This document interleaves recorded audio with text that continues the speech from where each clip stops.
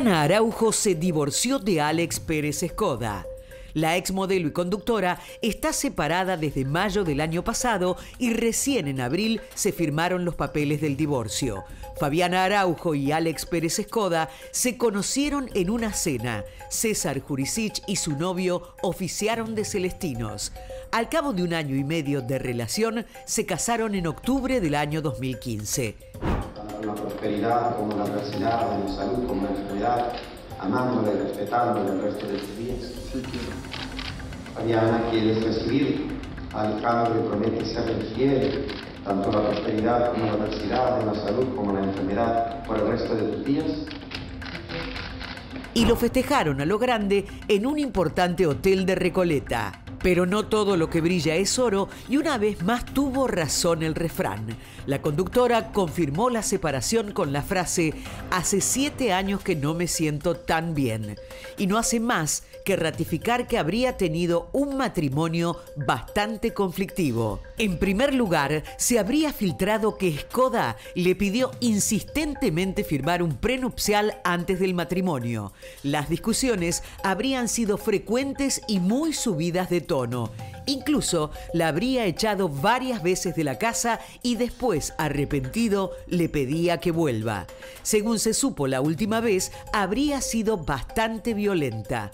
Desde su entorno se filtró que Fabiana le tendría mucho miedo y sus amigas le habrían recomendado no acercarse ni contestar los mensajes. Fabiana Araujo, del sueño del casamiento a vivir una pesadilla. Bueno, lo- lo- los finales así los vimos varias veces. El tema es que terminó la amistad acá, porque eh, se encontraron, me contaban hoy. Bueno, hoy no hubo saludo del Día del Amigo ni nada No, públicamente. no lo vi, no lo vi. Eh, No, no, no, nada. Nada. No, cero, no, no, porque Yo hablé él, ni con si- César él ni ¿eh? siquiera la invitó a su último cumpleaños, que fue en junio. Sí. Bueno, ahí le llamó la atención a mucha gente que tienen en común, ¿no? Porque estaban siempre Claro. en los cumpleaños eh, del otro. Eh, me contaron que eh, se, se encontraron hace poco, hace poco, estoy buscando En dónde el fue. verano, en el En el verano, en un desfile, no, hace un mes Ah. se encontraron en un desfile y ni siquiera se Ah, saludaron. claro, la última vez que se vieron fue en el verano. Pero ¿y qué pasó ahí? Que César no le cree, porque es tremendo. Porque No ella sé, se él separa. es muy Dice que amigo- no lo quiere ver por miedo. No sé, Fuerte. él Él la amigo- rajaba de la casa, cuentan. Sí. Todo el tiempo, después la perdonaba y Voy a volvía. contar más o menos no A ver. podés volver. Eh, En el, con el paso del tiempo, eh, cuando me acuerdo cuando fue que ganamos el Mundial. Yo una, una- veo el festejo de César con Alex en la 9 de julio. Y le digo, ¿y Fabiana? ¿Dónde digo, está? ¿dónde está? Porque yo sabía que César había cortado con su pareja. Y me dice, no, no, no, lo que pasa es que como Fabiana trabaja los sábados y domingos, no pudo venir a festejar. Me hizo un ruido. Al sábado siguiente los veo que ellos van al Tigre, Alex tiene una, una lancha y no estaba Fabiana. Digo, es raro esto. O sea, Me nunca niega, estaba, nunca estaba. y me lo niega. Esto fue el año pasado ya. Y este, le pregunté... Vos trabajaste con los dos, ¿no? eh, con Sí, con Fabiana trabajé en el último tiempo cuando estábamos con Roca Salvo. Sí, son sucios. Y, y, este, y en verdad que me lo negaron. Y se notaba porque ella viajaba sola, se fue a Perú sola. Sí, se fue a Machu Picchu y se fue a Turquía. Y había- andaba con una onda muy así de elevación. Y yo, esto acá esto es raro. Y me lo negaron siempre. Pero en verdad que este, hoy cuando bueno mandaron a hacer el, el informe, Sí, entre la las confirmación era más que... Sí, sí, esto que estamos contando está confirmado. Ellos tienen bajo perfil, obviamente, tanto Fabiana como, Sí. como Sí, César. ella es, eh, no le gustan los escándalos, no le gustan las peleas.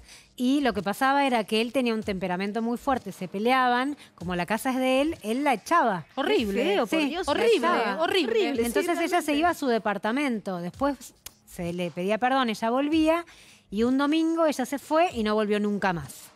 Ahí ¿Pero no se hizo- estaban casados legalmente? Sí. Sí. ¿Pero entonces Sí. no le pertenece la casa? No, era anterior, No, seguro. era anterior, claro. Ah, no, además Claro. él le hizo firmar, Firmar un un- acuerdo, un acuerdo prenupcial. prenupcial. Ya empezó todo como el orto ahí. qué Ya raro. arrancó raro. Y ella estaba muy enamorada. Prenu- prenupcial no. No, no va, o sea, se No. equivocó, lamentablemente. Ella estaba se muy No. equivocó, enamorada. Ni Juli ni Coti prenupcial firmó. nunca. No, Estaba muy enamorada. Las mujeres cuando nos enamoramos Si somos no me va a dar iguales. todo el mundo. ¿Cómo? No, Las no, mujeres Pero cuando tan nos boludas, enamoramos.